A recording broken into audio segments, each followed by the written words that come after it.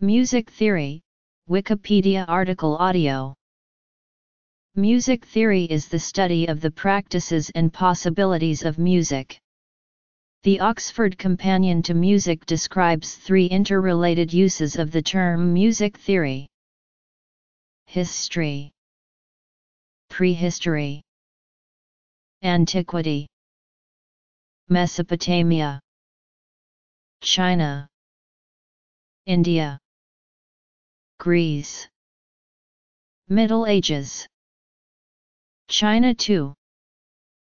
Arabic countries. Europe. Modern. China 3 Arabic countries 2 Europe 2 Renaissance. Baroque. 1750 A Euro 1900 Contemporary. Fundamentals of music. Pitch. Scales and modes. Consonance and dissonance Rhythm. Melody. Chord. The first is what is otherwise called rudiments, currently taught as the elements of notation, of key signatures, of time signatures, of rhythmic notation, and so on. The second is the study of writings about music from ancient times onwards. The third is an area of current musicological study that seeks to define processes and general principles in music a Eurosphere of research that can be distinguished from analysis in that it takes as its starting point not the individual work or performance but the fundamental materials from which it is built. Harmony Timbre Music theory is frequently concerned with describing how musicians and composers make music, including tuning systems and composition methods among other topics. Because of the ever-expanding conception of what constitutes music, a more inclusive definition could be that music theory is the consideration of any sonic phenomena, including silence, as they relate to music. This is not an absolute guideline, for example, the study of music in the quadrivium liberal arts university curriculum that was common in medieval Europe was an abstract system of proportions that was carefully studied at a distance from actual musical practice. However, this medieval discipline became the basis for tuning systems in later centuries, and it is generally included in modern scholarship on the history of music theory. Dynamics Articulation Music theory as a practical discipline encompasses the methods and concepts composers and other musicians use in creating music. The development, preservation, and transmission of music theory in this sense may be found in oral and written music making traditions, musical instruments, and other artifacts. For example, ancient instruments from Mesopotamia, China, and prehistoric sites around the world reveal details about the music they produced and potentially something of the musical theory that might have been used by their makers. In ancient and living cultures around the world, the deep and long roots of music theory are clearly visible in instruments, oral traditions, and current music making. Many cultures, at least as far back as ancient Mesopotamia and ancient China, have also considered music theory in more formal ways such as written treatises and music notation. Practical and scholarly traditions overlap, as many practical treatises about music place themselves within a tradition of other treatises, which are cited regularly just as scholarly writing cites earlier research. In modern academia, music theory is a subfield of musicology, the wider study of musical cultures and history. Etymologically, music theory is an act of contemplation of music, from the Greek III per thousand III plus or minus, a looking at, viewing, contemplation, speculation, theory, also a sight, a spectacle.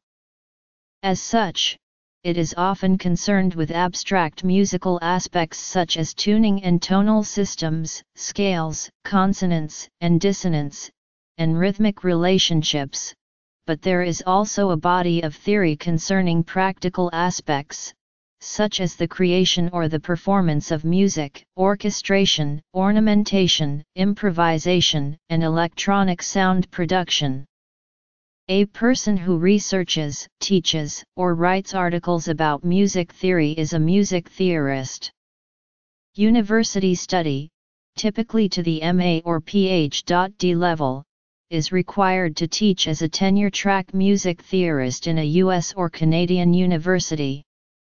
Methods of analysis include mathematics, graphic analysis, and especially analysis enabled by Western music notation.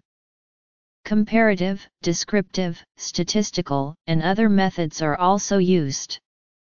Music theory textbooks, especially in the United States of America, often include elements of musical acoustics, considerations of musical notation, and techniques of tonal composition, among other topics. Preserved prehistoric instruments, artifacts, and later depictions of performance in artworks can give clues to the structure of pitch systems in prehistoric cultures. See for instance Paleolithic flutes, GC and Anasazi flute. Several surviving Sumerian and Akkadian clay tablets include musical information of a theoretical nature, mainly lists of intervals and tunings. The scholar Sam Mirelman reports that the earliest of these texts dates from before 1500 BCE, a millennium earlier than surviving evidence from any other culture of comparable musical thought. Further, all the Mesopotamian texts are united by the use of a terminology for music that, according to the approximate dating of the texts, was in use for over 1,000 years. Much of Chinese music history and theory remains unclear. The earliest texts about Chinese music theory are inscribed on the stone and bronze bells excavated in 1978 from the tomb of Marquis Yi of the Zeng state. They include more than 2,800 words describing theories and practices of music pitches of the time. The bells produce two intertwined pentatonic scales three tones apart with additional pitches completing the chromatic scale. Chinese theory starts from numbers, the main musical numbers being 12, 5, and 8. 12 refers to the number of pitches on which the scales can be constructed. The La 1 4th Shi Chun Kai from about 239 BCE recalls the legend of Ling Lun. On order of the Yellow Emperor, Ling Lun collected 12 bamboo lengths with thick and even nodes. Blowing on one of these like a pipe, he found its sound agreeable and named it Huangzhong, the yellow bell. He then heard phoenixes singing. The male and female phoenix each sang six tones. Ling Lun cut his bamboo pipes to match the pitches of the phoenixes, producing 12 pitch pipes in two sets, 6 from the male phoenix and 6 from the female. These were called the La 1 4th La 1 4th or later the Shire La 1 4th. The La 1 4th La 1 4th formed the ritual scale to which many instruments were tuned. The name of the lowest sound, Huangzhong also implied musical correctness. Its pitch formed a pitch standard, setting the bass pitch of zithers, flutes, and singers of imperial court orchestras. Straight-walled pitch pipes without finger holes were made of cast metal, their length specified by court regulations. The resulting chromatic scale provided 12 fundamental notes for the construction of the musical scales themselves. The La 1 4th La 1 4th also has a cosmological value, its notes describe the energetic frequency of the 12 months of the year, the daily rhythm of the 12 by hours of the Chinese clock, the 12 main acupuncture meridians, etc. The two sets of tones dividing the 12-tone scale were generated by the method of subtracting and adding thirds, or sanfensunyi, which involved alternately rising a fifth and descending a fourth through the subtraction or addition of a third of the length of the preceding pitch pipe. The resulting pitches produced by adding a third were referred to by Sima Qian in the records of the Grand Historian as pitches of superior generation, that is, the pitches of Ling Luna Euro trademark S. Male phoenix, the pitches produced by subtracting a third were referred to as pitches of inferior generation, that is, the pitches of Ling Luna Euro trademark S. Female phoenix. Apart from technical and structural aspects, ancient Chinese music theory also discusses topics such as the nature and functions of music. The Yueji, for example, manifests Confucian moral theories of understanding music in its social context. Studied and implemented by Confucian scholar officials, these theories helped form a musical Confucianism that overshadowed but did not erase rival approaches. These include the assertion of Mozi that music wasted human and material resources, and Laosha Euro trademark S claim that the greatest music had no sounds. Even the music of the Qin zither, a genre closely affiliated with Confucian scholar officials, includes many works with Daoist references, such as Tianfeng Huan Pi. The Samaveda and Yajurveda are among the earliest testimonies of Indian music, but they contain no theory properly speaking. The Natya Shastra, written between 200 BCE to 200 CE, discusses intervals, scales, consonances, and dissonances, classes of melodic structure, melodic types, instruments, etc. Early preserved Greek writings on music theory include two types of works. Several names of theorists are known before these works, including Pythagoras, Philolaus, Archytas, and others.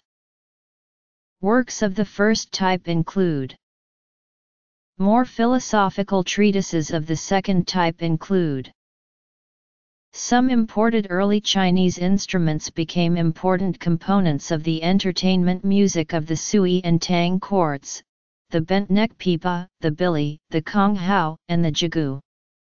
They generated not only new repertories and performing practices but also new music theories. The pipa, for example, carried with it a theory of musical modes that subsequently led to the Sui and Tang theory of 84 musical modes. Medieval Arabic music theorists include the Latin treatise De Institutione Musica by the Roman philosopher Boethius was a touchstone for other writings on music in medieval Europe. Boethius represented classical authority on music during the Middle Ages, as the Greek writings on which he based his work were not read or translated by later Europeans until the 15th century. This treatise carefully maintains distance from the actual practice of music, focusing mostly on the mathematical proportions involved in tuning systems and on the moral character of particular modes. Several centuries later, treatises began to appear which dealt with the actual composition of pieces of music in the plain chant tradition.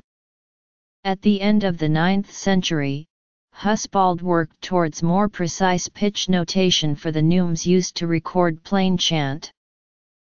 Guido d'Arezzo wrote in 1028 a letter to Michael of Pomposa, entitled Epistola de Ignoto Cantu, in which he introduced the practice of using syllables to describe notes and intervals. This was the source of the hexachordal solmization that was to be used until the end of the Middle Ages. Guido also wrote about emotional qualities of the modes, the phrase structure of plain chant, the temporal meaning of the neumes, etc., his chapters on polyphony come closer to describing and illustrating real music than any previous account in the Western tradition. During the 13th century, a new rhythm system called mensural notation grew out of an earlier, more limited method of notating rhythms in terms of fixed repetitive patterns, the so-called rhythmic modes, which were developed in France around 1200. An early form of mensural notation was first described and codified in the treatise Ars Cantus Mensurabilis by Franco of Cologne. Mensural notation used different note shapes to specify different durations, allowing scribes to capture rhythms which varied instead of repeating the same fixed pattern. It is a proportional notation, in the sense that each note value is equal to two or three times the shorter value, or half, or a third of the longer value. This same notation, transformed through various extensions and improvements during the Renaissance, forms the basis for rhythmic notation in European classical music today. D'Erlanger divulges that the Arabic music scale is derived from the Greek music scale, and that Arabic music is connected to certain features of Arabic culture, such as astrology. As Western musical influence spread throughout the world in the 1800s, musicians adopted Western theory as an international standard euro but other theoretical traditions in both textual and oral traditions remain in use. For example, the long and rich musical traditions unique to ancient and current cultures of Africa are primarily oral, but describe specific forms, genres, performance practices, tunings, and other aspects of music theory. Sacred harp music uses a different kind of scale and theory in practice. The music focuses around the solfege fa, sol, la on the music scale. Sacred harp also employs a different notation involving shape notes, or notes that are shaped to correspond to a certain solfege syllable on the music scale. Sacred harp music and its music theory originated with Reverend Thomas Symmes in 1720, where he developed a system for singing by note in order to help his church members with note accuracy. Music is composed of aural phenomena, music theory considers how those phenomena apply in music. Music theory considers melody, rhythm, counterpoint, harmony, form, tonal systems, scales, tuning, intervals, consonance, dissonance, durational proportions, the acoustics of pitch systems, composition, performance, orchestration, ornamentation, improvisation, electronic sound production, etc. Pitch is the lowness or highness of a tone, for example the difference between middle C and a higher C.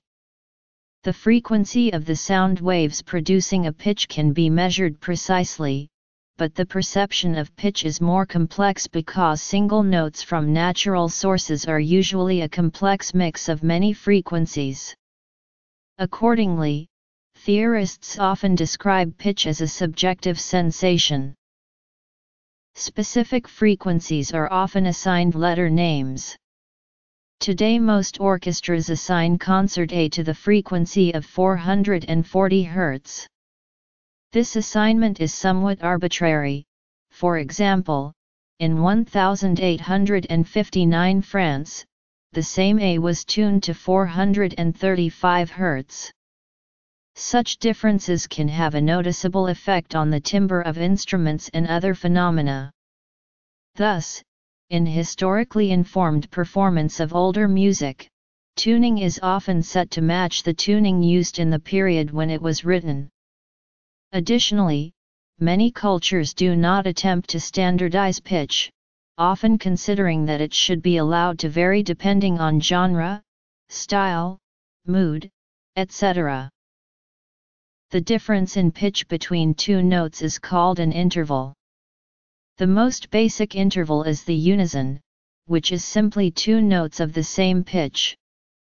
The octave interval is two pitches that are either double or half the frequency of one another. The unique characteristics of octaves gave rise to the concept of pitch class. Pitches of the same letter name that occur in different octaves may be grouped into a single class by ignoring the difference in octave. For example, a high C and a low C are members of the same pitch class a euro the class that contains all Cs. Technical manuals describing the Greek musical system including notation, scales, consonants and dissonance, rhythm, and types of musical compositions, treatises on the way in which music reveals universal patterns of order leading to the highest levels of knowledge and understanding. Texture. Form or structure. Expression. Notation Basics of common practice part writing. Music theory as academic discipline. Analysis. Music perception and cognition. Genre and technique. Mathematics. Serial composition and set theory. Musical semiotics. Education and careers Notes. Sources. Anonymous division of the canon, plus or minus II plus or minus III I one fourth I registered trademark I degree I plus or minus I one half IOE I one half II, 40 HA Euro 3 RD century BCE, Theon of Smyrna, on mathematics useful for the understanding of Plato, I per thousand V I degree I plus or minus I I I I O E I one fourth I plus or minus I I I one fourth I plus or minus I I superscript one I degree I O E I one half I I I I one fourth I per thousand I one half I I I I registered trademark I one half I I I I per thousand I one half I I I I one half I I superscript three I one half I per thousand superscript one I one one five A Euro one forty CE Nicomachus of Gerasa, Manual of Harmonics, I I I 1 4th I I 1 half I superscript 1 I degree I O E I 1 half I I superscript 3 I I I superscript 1 I I I I superscript 1 I I 1 half, 100 A Euro 150 CE, Cleonides, Introduction to Harmonics, I I plus or minus I superscript 3 I per thousand I superscript 3 I registered trademark I I I 1 fourth I I 1 half I superscript 1 I degree I registered trademark, 2nd century CE, Gaudentius, Harmonic. Introduction, I I I 1 fourth I I 1 half I superscript 1 I degree I registered trademark I I plus or minus I superscript 3 I per thousand I superscript 3 I registered trademark, 3D or 4th century CE, Bacchius Geron, Introduction to the Art of Music, I I plus or minus I superscript 3 I per thousand I superscript 3 I registered trademark I I I I 1 half I I I 1 fourth I I Superscript 1 I degree I registered trademark I, 4th century CE or later, Alypius, Introduction to Music, I I plus or minus I superscript 3 I per thousand I superscript 3 I registered trademark I. 1 4th I I, superscript 1 I degree I registered trademark, 40 HA Euro 5 TH century CE.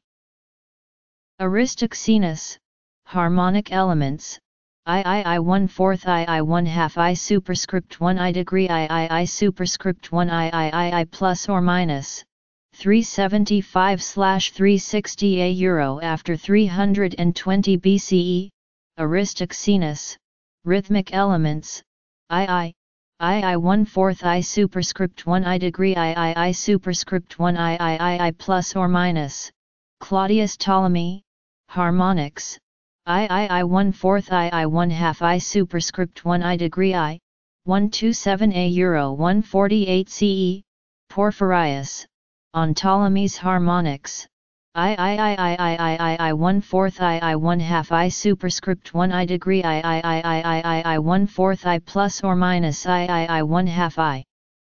I Euro IOE I 1 fourth I 1 half I I 1 fourth I plus or minus 232-3C 305 CE. Abaya Sufya Qab al-Kindi, who uses the first 12 letters of the alphabet to describe the 12 frets on 5 strings of the oud, producing a chromatic scale of 25 degrees, al-Munijan, author of Risala fa al-Ma Saqa which describes a Pythagorean tuning of the oud and a system of eight modes perhaps inspired by Ishaq al-Mawsili, Abba en trademark ar Muayyan Ahmad al-Farabi, author of Kitab al-Musiqa al-Kabir, Ali ibn al-Hussein al-Isfaha na, known as Abu al-Faraj al-Isfahani, author of Kitab al-Aga na. Abba Allah ala Uzain ibn Eabd Allah hibn sana, known as Avicenna, whose contribution to music theory consists mainly in chapter 12 of the section on mathematics of his Kitab al-Shifa, Alayasan ibn Aayan Mad ibn Ali al-Khatib, author of Kama el-Adab al-Gina, copied in 1225, Safi al-Din al-Irma'i, author of the Kitabu al-Adwa'ar and Ar Risala Aa-A Arafiyya, Mubarak Aah, commentator of Safi al-Din's Kitabi al-Adwa'ar, Anan. LXI, Anonymous Commentary on Safi al-Din's Kitabi al-Adwa'ar, Shams al-Da and al-Seda 3 4 plus or minus Wa al-Hahaba, music theorist. Author of Urjaza fi el ma saqa 3 4 plus or minus. Musical tuning systems, or temperaments, determine the precise size of intervals. Tuning systems vary widely within and between world cultures. In Western culture, there have long been several competing tuning systems, all with different qualities. Internationally, the system known as equal temperament is most commonly used today because it is considered the most satisfactory compromise that allows instruments of fixed tuning to sound acceptably in tune in all keys. Notes can be arranged in a variety of scales and modes. Western music theory generally divides the octave into a series of 12 tones, called a chromatic scale, within which the interval between adjacent tones is called a half step or semitone. Selecting tones from this set of 12 and arranging them in patterns of semitones and whole tones creates other scales. The most commonly encountered scales are the seven-toned major, the harmonic minor, the melodic minor, and the natural minor. Other examples of scales are the octatonic scale and the pentatonic or five-tone scale, which is common in folk music and blues. Non-Western cultures often use scales that do not correspond with an equally divided 12-tone division of the octave. For example, classical Ottoman, Persian, Indian, and Arabic musical systems often make use of multiples of quarter tones. For instance in neutral seconds or neutral thirds a euro they do not normally use the quarter tone itself as a direct interval. In traditional Western notation, the scale used for a composition is usually indicated by a key signature at the beginning to designate the pitches that make up that scale. As the music progresses, the pitches used may change and introduce a different scale. Music can be transposed from one scale to another for various purposes, often to accommodate the range of a vocalist. Such transposition raises or lowers the overall pitch range, but preserves the intervallic relationships of the original scale. For example, transposition from the key of C major to D major raises all pitches of the scale of C major equally by a whole tone. Since the interval relationships remain unchanged, transposition may be unnoticed by a listener, however other qualities may change noticeably because transposition changes the relationship of the overall pitch range compared to the range of the instruments or voices that perform the music. This often affects the music's overall sound, as well as having technical implications for the performers. The interrelationship of the keys most commonly used in Western tonal music is conveniently shown by the circle of fifths. Unique key signatures are also sometimes devised for a particular composition. During the Baroque period, emotional associations with specific keys, known as the doctrine of the affections, were an important topic in music theory, but the unique tonal colorings of keys that gave rise to that doctrine were largely erased with the adoption of equal temperament. However, many musicians continue to feel that certain keys are more appropriate to certain emotions than others. Indian classical music theory continues to strongly associate keys with emotional states, times of day, and other extra musical concepts and notably, does not employ equal temperament. Consonance and dissonance are subjective qualities of the sonority of intervals that vary widely in different cultures and over the ages. Consonance is the quality of an interval or chord that seems stable and complete in itself. Dissonance is the opposite in that it feels incomplete and wants to resolve to a consonant interval. Dissonant intervals seem to clash. Consonant intervals seem to sound comfortable together. Commonly, perfect fourths, fifths, and octaves and all major and minor thirds and sixths are considered consonant.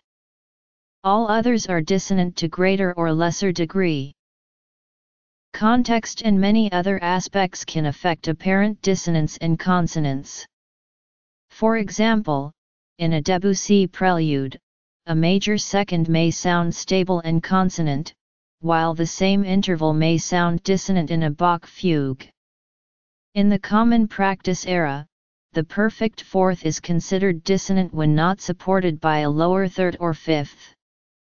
Since the early 20th century, Arnold Schoenberg a Euro trademark S concept of emancipated dissonance, in which traditionally dissonant intervals can be treated as higher, more remote consonances, has become more widely accepted. Rhythm is produced by the sequential arrangement of sounds and silences in time. Meter measures music in regular pulse groupings, called measures, or bars. The time signature or meter signature specifies how many beats are in a measure, and which value of written note is counted or felt as a single beat. Through increased stress, or variations in duration or articulation, particular tones may be accented. There are conventions in most musical traditions for regular and hierarchical accentuation of beats to reinforce a given meter. Syncopated rhythms contradict those conventions by accenting unexpected parts of the beat. Playing simultaneous rhythms in more than one time signature is called polyrhythm. In recent years, rhythm and meter have become an important area of research among music scholars. The most highly cited of these recent scholars are Maury Yeston, Fred Lerdahl, and Ray Jackendoff, Jonathan Kramer, and Justin London. A melody is a series of tones sounding in succession that typically move toward a climax of tension then resolve to a state of rest. Because melody is such a prominent aspect in so much music, its construction and other qualities are a primary interest of music theory. The basic elements of melody are pitch, duration, rhythm, and tempo. The tones of a melody are usually drawn from pitch systems such as scales or modes. Melody may consist, to increasing degree, of the figure, motive, semi-phrase, antecedent and consequent phrase, and period or sentence. The period may be considered the complete melody, however some examples combine two periods, or use other combinations of constituents to create larger form melodies. A chord, in music, is any harmonic set of three or more notes that is heard as if sounding simultaneously. These need not actually be played together, arpeggios and broken chords may, for many practical and theoretical purposes, constitute chords. Chords and sequences of chords are frequently used in modern Western, West African, and Oceanian music, whereas they are absent from the music of many other parts of the world. The most frequently encountered chords are triads, so called because they consist of three distinct notes. Further notes may be added to give seventh chords, extended chords, or added tone chords. The most common chords are the major and minor triads and then the augmented and diminished triads. The descriptions major, minor, augmented, and diminished are sometimes referred to collectively as chordal quality.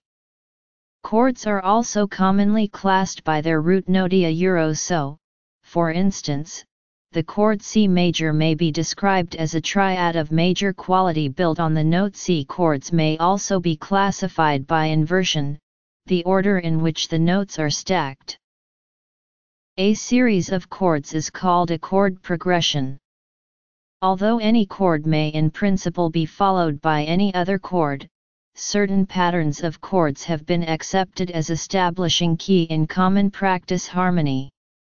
To describe this, chords are numbered, using Roman numerals, per its diatonic function. Common ways of notating or representing chords in Western music other than conventional staff notation include Roman numerals, figured bass, macro symbols, and various systems of chord charts typically found in the lead sheets used in popular music to lay out the sequence of chords so that the musician may play accompaniment chords or improvise a solo. In music, harmony is the use of simultaneous pitches, or chords. The study of harmony involves chords and their construction and chord progressions and the principles of connection that govern them. Harmony is often said to refer to the vertical aspect of music, as distinguished from melodic line, or the horizontal aspect. Counterpoint, which refers to the interweaving of melodic lines, and polyphony, which refers to the relationship of separate independent voices, are thus sometimes distinguished from harmony. In popular and jazz harmony, chords are named by their root plus various terms and characters indicating their qualities. For example, a lead sheet may indicate chords such as C major, D minor, and G dominant seventh. In many types of music, notably Baroque, Romantic, Modern, and Jazz, chords are often augmented with tensions. A tension is an additional chord member that creates a relatively dissonant interval in relation to the bass. Typically, in the classical common practice period a dissonant chord resolves to a consonant chord. Harmonization usually sounds pleasant to the ear when there is a balance between the consonant and dissonant sounds. In simple words, that occurs when there is a balance between tense and relaxed moments. Timbre, sometimes called color, or tone color, is the principal phenomenon that allows us to distinguish one instrument from another when both play at the same pitch and volume, a quality of a voice or instrument often described in terms like bright, dull, shrill, etc.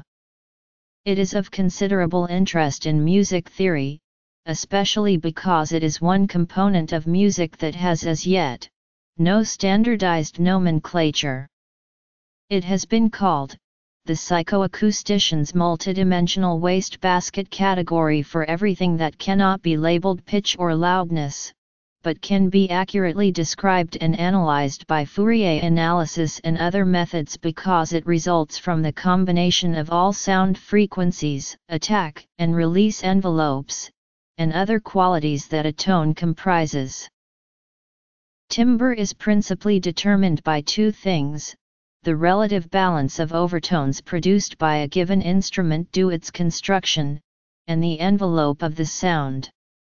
Timbre varies widely between different instruments, voices, and to lesser degree, between instruments of the same type due to variations in their construction, and significantly, the performer's technique. The timbre of most instruments can be changed by employing different techniques while playing. For example, the timbre of a trumpet changes when a mute is inserted into the bell, the player changes their embouchure, or volume. A voice can change its timbre by the way the performer manipulates their vocal apparatus. Musical notation frequently specifies alteration in timbre by changes in sounding technique, volume, accent, and other means. These are indicated variously by symbolic and verbal instruction. For example, the word dolce indicates a nonspecific, but commonly understood soft and sweet timbre. Sul tasto instructs a string player to bow near or over the fingerboard to produce a less brilliant sound. Cuivre instructs a brass player to produce a forced and stridently brassy sound. Accent symbols like marcato and dynamic indications can also indicate changes in timbre. In music, dynamics normally refers to variations of intensity or volume, as may be measured by physicists and audio engineers in decibels or phons. In music notation, however, dynamics are not treated as absolute values, but as relative ones. Because they are usually measured subjectively, there are factors besides amplitude that affect the performance or perception of intensity, such as timbre, vibrato, and articulation. The conventional indications of dynamics are abbreviations for Italian words like forte for loud and piano for soft. These two basic notations are modified by indications including mezzo piano for moderately soft and mezzo forte for moderately loud, sforzando, or sforzato for a surging or pushed attack, or forte piano for a loud attack with a sudden decrease to a soft level. The full span of these markings usually range from a nearly inaudible pianississimo to a loud as possible fortissimo. Greater extremes of PPPPPP and FFFFF and nuances such as P and or P superscript 1 piano are sometimes found.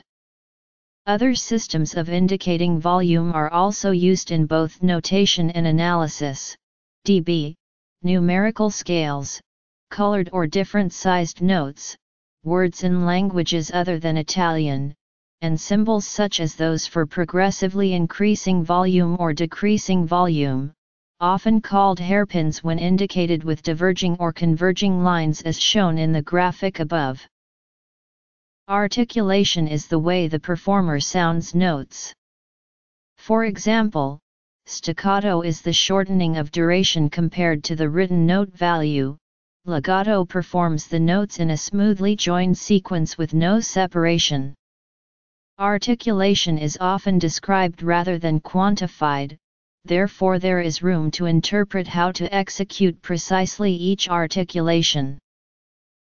For example, staccato is often referred to as separated or detached rather than having a defined or numbered amount by which to reduce the notated duration. Violin players use a variety of techniques to perform different qualities of staccato.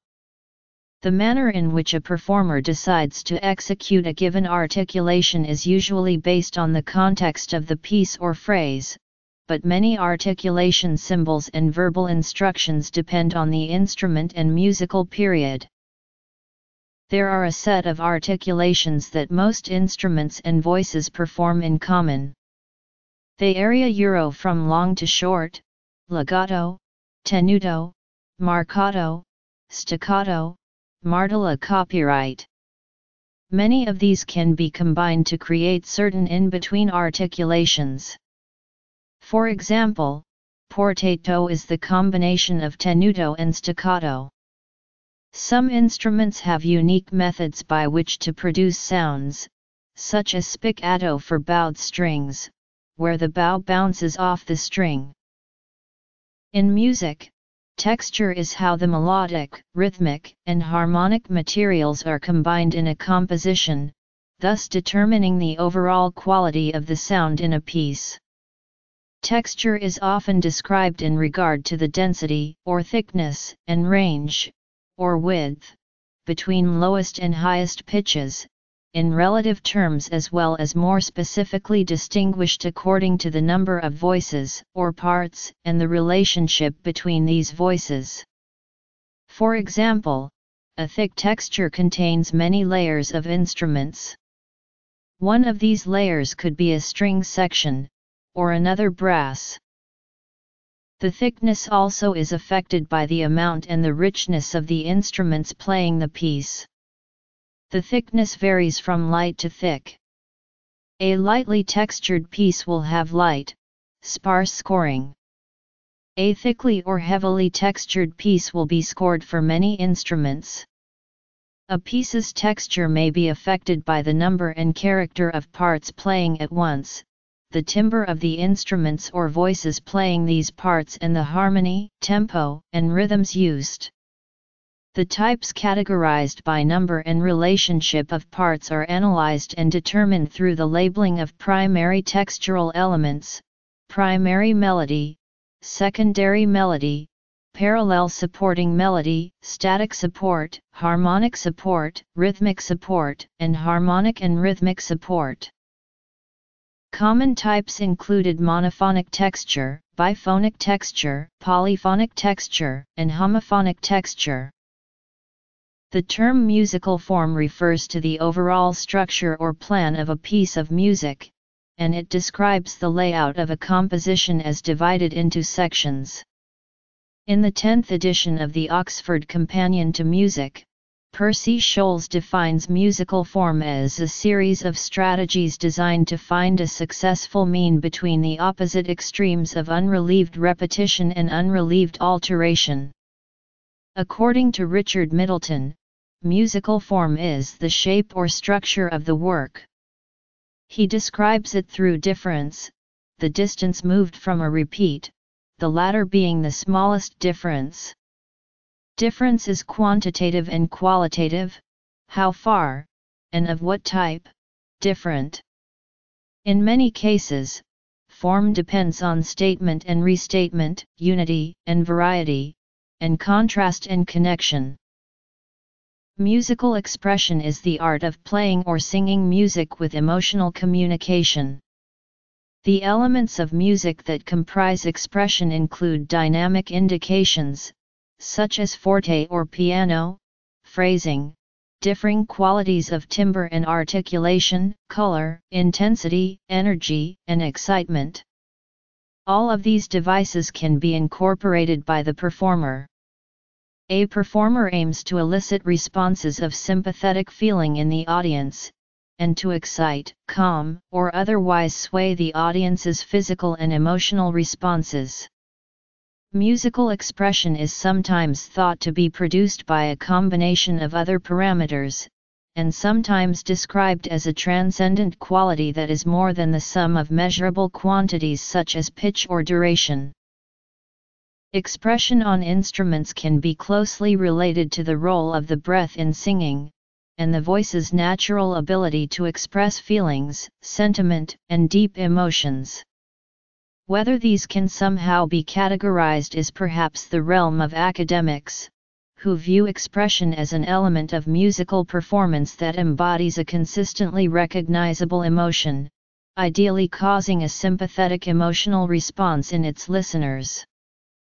The emotional content of musical expression is distinct from the emotional content of specific sounds and of learned associations, but can rarely be completely separated from its context. The components of musical expression continue to be the subject of extensive and unresolved dispute. Musical notation is the written or symbolized representation of music.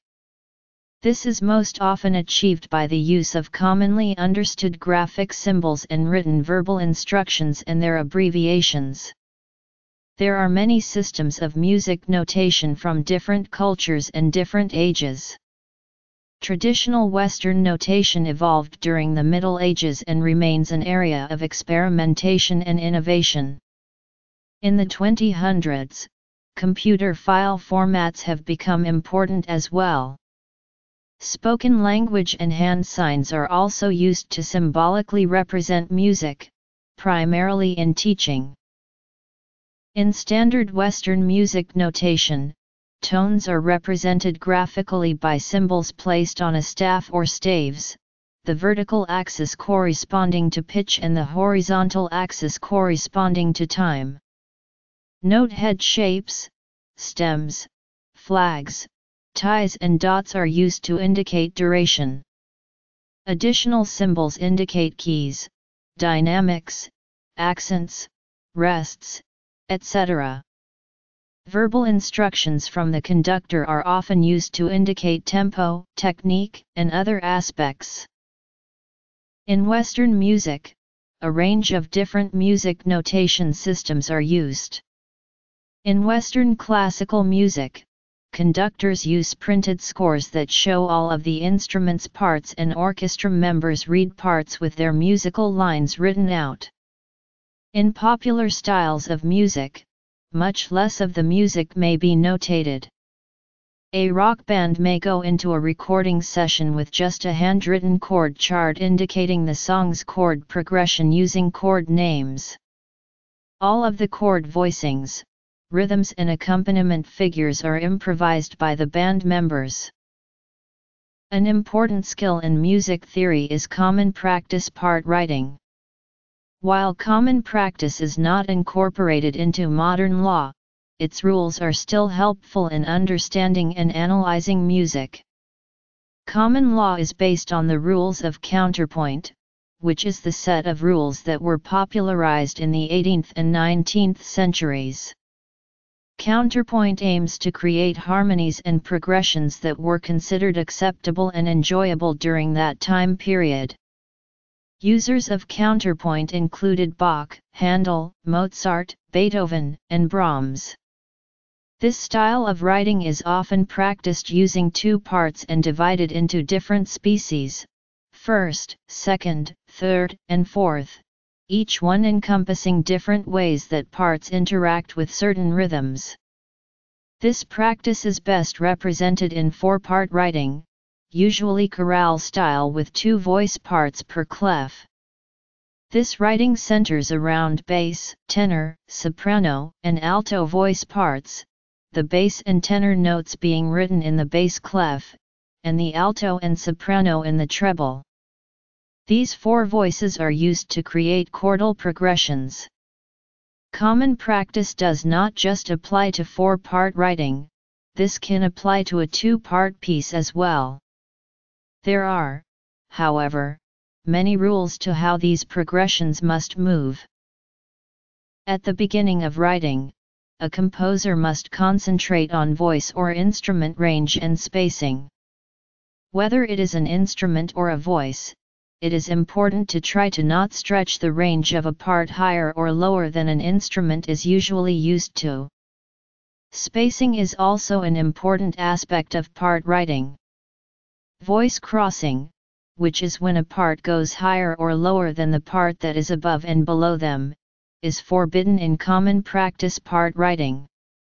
An example of this would be the soprano part going lower than the alto part. A subset of this rule is voice overlapping, in which instead of crossing in tandem a voice will go higher and lower than their neighbor just was.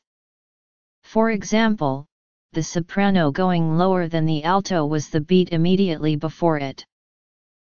In part writing, the usage of conjunct melodic motion is important, in which the parts generally move in stepwise motion, and in counterpoint, if there is a leap, the part will progress the opposite direction it just leapt in stepwise motion. Parts also must progress together in contrary motion, meaning the parts are going in different directions. This is preferable to parallel motion, where the parts move together, or oblique motion, where one part doesn't a Euro trademark T move and another does. Parallel motion can be used, but it is important to pay attention to intervals in order to avoid breaking counterpoint rules. Dissonant intervals, both melodic and harmonic intervals are not preferable in most cases. This includes augmented or diminished intervals, tritones, and seventh chords, simply because they sound very jarring in a piece that is meant to sound pleasant to the ear. Parallel intervals, which occur when two parts move the same distance creating the same interval twice in a row, are also important to be aware of. However, this is only a problem when the intervals are either a perfect fifth or a perfect octave. These also can sound uncomfortable to the ear as they tend to have an open or hollow sound. While consonant intervals and perfect intervals are greatly important, dissonant intervals can occur within music, which is why resolutions are vital. The most basic rule of resolution is to always resolve the leading tone upwards. When resolving the seventh scale degree to the tonic, it creates a sense of satisfaction and completion, relieving the tension that it created. Tritones also must be resolved correctly. These can occur in triads or seventh chords that are based on scale degree 7, and they must be resolved correctly. A tritone can either be an augmented fourth intervals or a diminished fifth based on the voicing that the composer uses. In common practice, an augmented fourth must resolve out, meaning the top voice resolves up and the bottom voice resolves down, creating a sixth opposite of that a diminished fifth must resolve in, where the top voice resolves down and the bottom voice resolves up, creating an interval of a third. The scholarly study of music theory in the 20th century has a number of different subfields, each of which takes a different perspective on what are the primary phenomenon of interest and the most useful methods for investigation. Musical analysis is the attempt to answer the question how does this music work? The method employed to answer this question, and indeed exactly what is meant by the question, differs from analyst to analyst, and according to the purpose of the analysis. According to Ian Bent, analysis, as a pursuit in its own right, came to be established only in the late 19th century, its emergence as an approach and method can be traced back to the 1750s. However, it existed as a scholarly tool, albeit an auxiliary one, from the Middle Ages onwards. Adolf Bernhard Marx was influential in formalizing concepts about composition and music understanding towards the second half of the 19th century. The principle of analysis has been variously criticized, especially by composers, such as Edgard Varèse's claim that, to explain by means of is to decompose, to mutilate the spirit of a work. Schenkerian analysis is a method of musical analysis of tonal music based on the theories of Heinrich Schenker. The goal of a Schenkerian analysis is to interpret the underlying structure of a tonal work and to help reading the score according to that structure. The theory's basic tenets can be viewed as a way of defining tonality in music.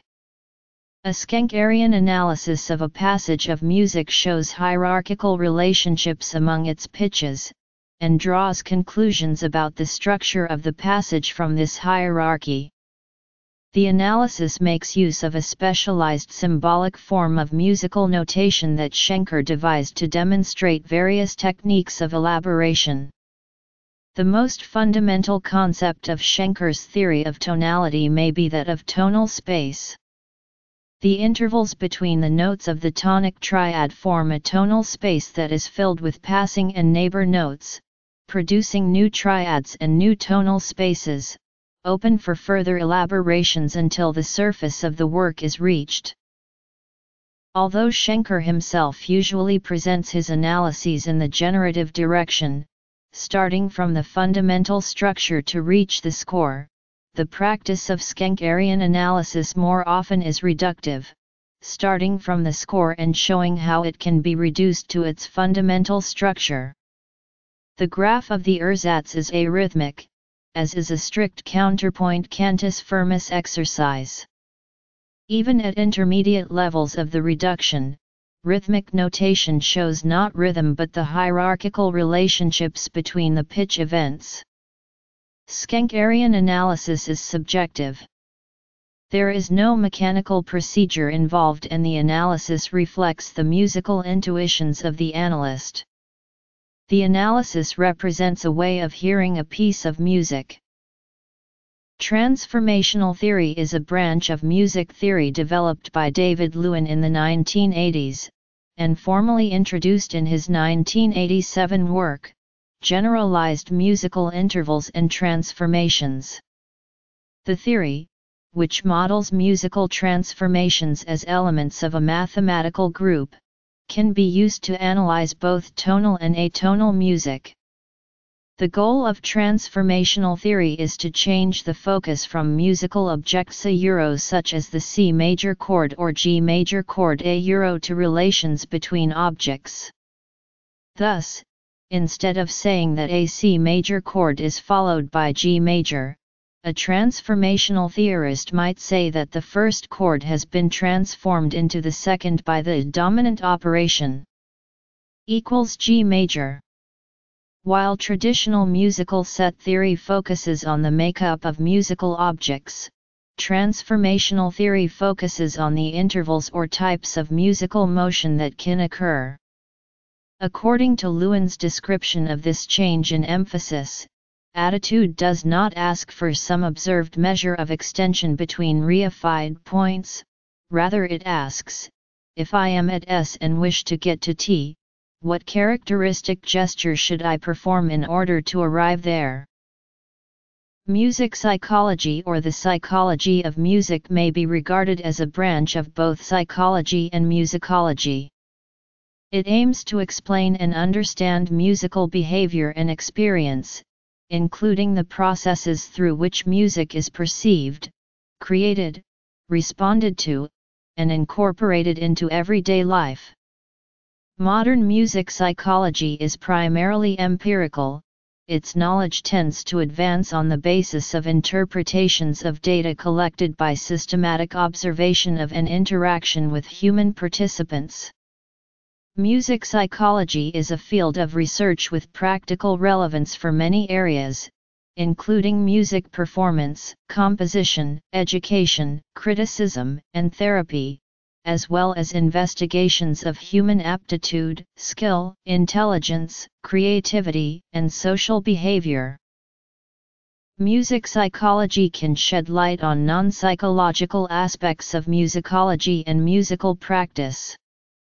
For example, it contributes to music theory through investigations of the perception and computational modeling of musical structures such as melody, harmony, tonality, rhythm, meter, and form.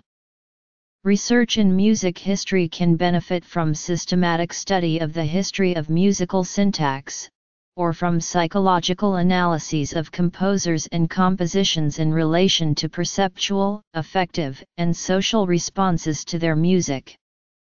Ethnomusicology can benefit from psychological approaches to the study of music cognition in different cultures. A music genre is a conventional category that identifies some pieces of music as belonging to a shared tradition or set of conventions. It is to be distinguished from musical form and musical style, although in practice these terms are sometimes used interchangeably. Music can be divided into different genres in many different ways. The artistic nature of music means that these classifications are often subjective and controversial, and some genres may overlap.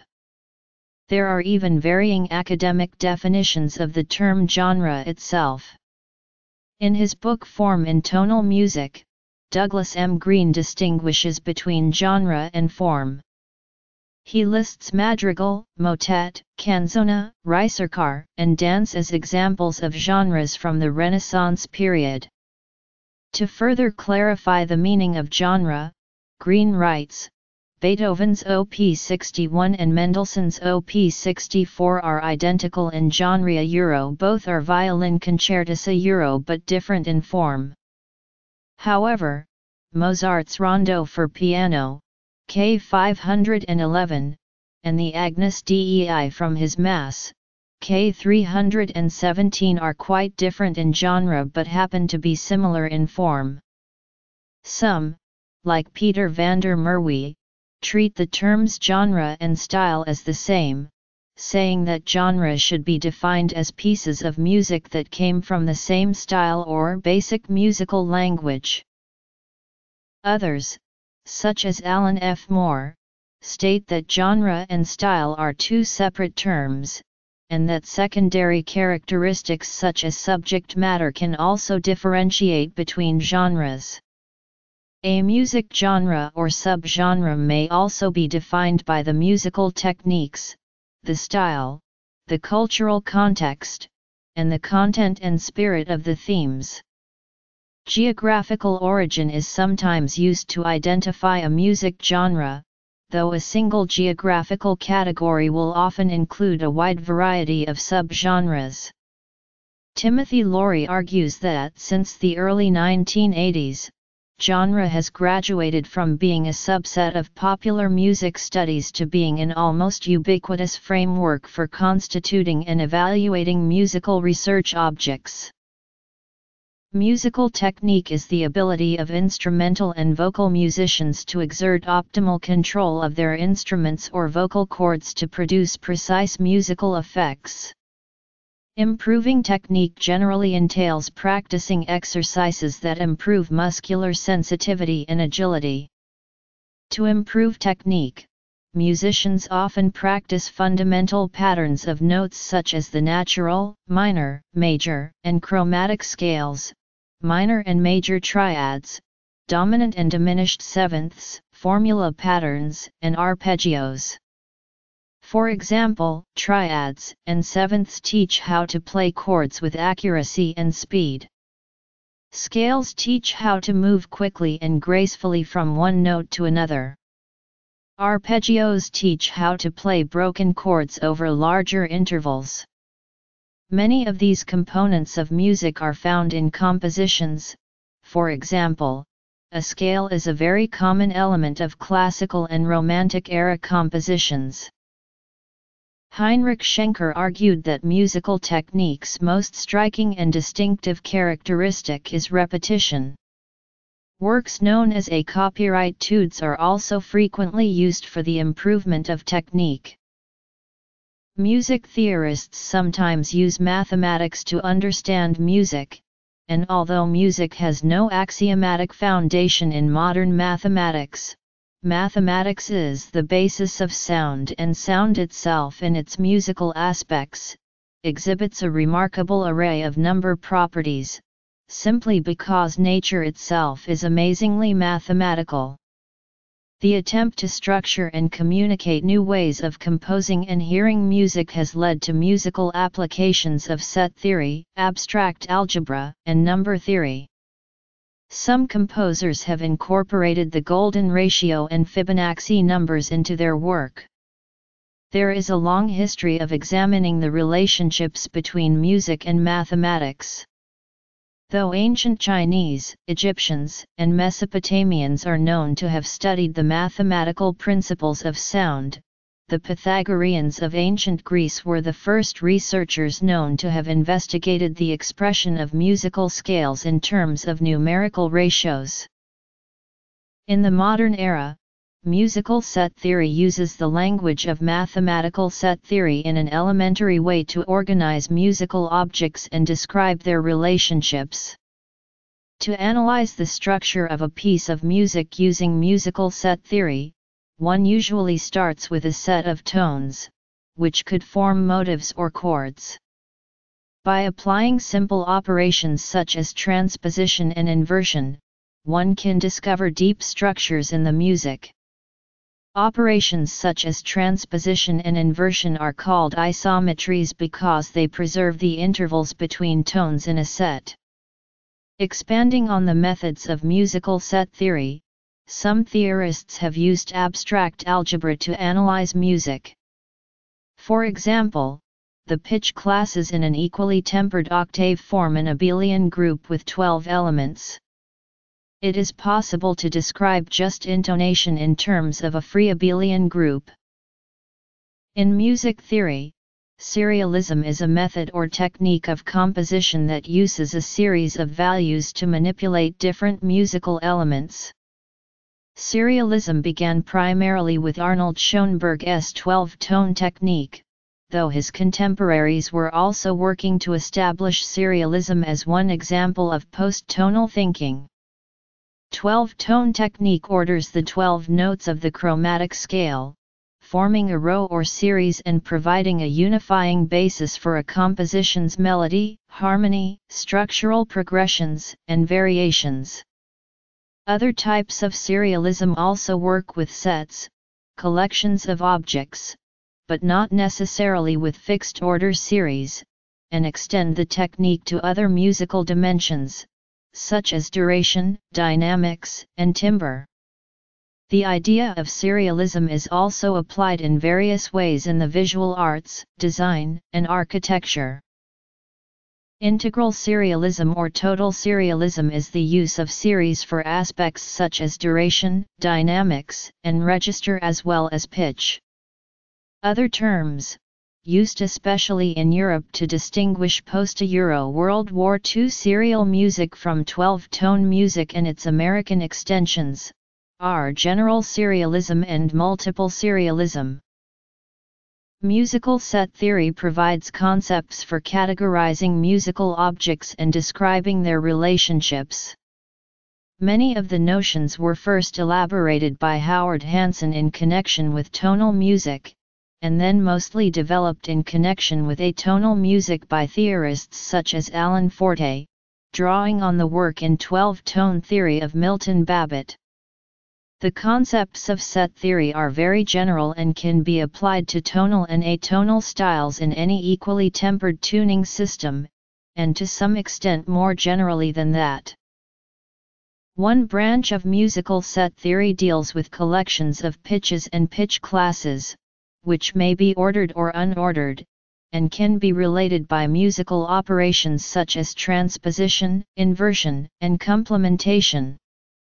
The methods of musical set theory are sometimes applied to the analysis of rhythm as well. Music semiology is the study of signs as they pertain to music on a variety of levels. Following Roman Jakobson, Kofi Agawu adopts the idea of musical semiosis being introversive or extroversive via euro that is, musical signs within a text and without. Topics, or various musical conventions, have been treated suggestively by Agawu, among others. The notion of gesture is beginning to play a large role in musico-semiotic inquiry, Writers on music semiology include Kofi Agawu's Schenkerian analysis, Robert Hatten, Raymond Monelle, Jean-Jacques Nattiez, Anthony Newcomb, and Eero Tarasti. Roland Barthes, himself a semiotician and skilled amateur pianist, wrote about music and image music text, the responsibilities of form, and Eiffel Tower, though he did not consider music to be a semiotic system. Signs, meanings in music, happen essentially through the connotations of sounds, and through the social construction, appropriation, and amplification of certain meanings associated with these connotations. The work of Philip Tagg Fernando the Flute, Musica Euro trademark S meanings provides one of the most complete and systematic analysis of the relation between musical structures and connotations in Western and especially popular, television and film music. The work of Leonard Meyer in Style and Music theorizes the relationship between ideologies and musical structures and the phenomena of style change, and focuses on Romanticism as a case study. Music theory in the practical sense has been a part of education at conservatories and music schools for centuries, but the status music theory currently has within academic institutions is relatively recent. In the 1970s, few universities had dedicated music theory programs, many music theorists had been trained as composers or historians, and there was a belief among theorists that the teaching of music theory was inadequate and that the subject was not properly recognized as a scholarly discipline in its own right. A growing number of scholars began promoting the idea that music theory should be taught by theorists, rather than composers, performers, or music historians. This led to the founding of the Society for Music Theory in the United States in 1977. In Europe, the French Socia Copyright Ta Copyright d'Analyse Musicale was founded in 1985. It called the first European Conference of Music Analysis for 1989, which resulted in the foundation of the Socha Copyright Ta Copyright Belgi d'Analyse Musicale in Belgium and the Gruppo Analisi e Teoria Musicale in Italy the same year, the Society for Music Analysis in the UK in 1991, the Vereniging voor Muziekanalyse Theory in the Netherlands in 1999 and the Gesellschaft voor one fourth R Music Theory in Germany in 2000. They were later followed by the Russian Society for Music Theory in 2013 and the Polish Society for Music Analysis in 2015, and others are in construction. These societies coordinate the publication of music theory scholarship and support the professional development of music theory researchers. As part of their initial training, music theorists will typically complete a B.Mus or a BA in music and in many cases an MA in music theory. Some individuals apply directly from a bachelor's degree to a Ph.D., and in these cases, they may not receive an MA. In the 2010s, given the increasingly interdisciplinary nature of university graduate programs, some applicants for music theory Ph.D. programs may have academic training both in music and outside of music. Most music theorists work as instructors, lecturers, or professors in colleges, universities or conservatories. The job market for tenure-track professor positions is very competitive. Applicants must hold a completed Ph.D. or the equivalent degree and have a strong record of publishing in peer-reviewed journals. Some Ph.D. holding music theorists are only able to find insecure positions as sessional lecturers. The job tasks of a music theorist are the same as those of a professor in any other humanities discipline, teaching undergraduate and slash or graduate classes in this area of specialization and, in many cases some general courses, conducting research in this area of expertise, publishing research articles in peer-reviewed journals, authoring book chapters, books, or textbooks, traveling to conferences to present papers and learn about research in the field, and, if the program includes a graduate school, supervising MA and PhD students and giving them guidance on the preparation of their theses and dissertations. Some music theory professors may take on senior administrative positions in their institution, such as dean or chair of the School of Music.